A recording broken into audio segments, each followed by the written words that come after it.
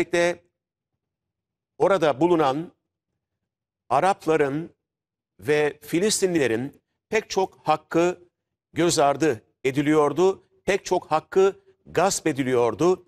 Özellikle sadece İbranice konuşulması meselesi de vardı. Tüm hakları yok sayan bir karar ve İbrahim Kalın Cumhurbaşkanlığı Sözcüsü Yahudi Ulus Devlet Yasası uluslararası toplumu tüm dünyanın gözlerinin önünde yaşanan bu adaletsizliğe tepki vermeye çağırıyoruz ifadesini kullanıyor Kalın.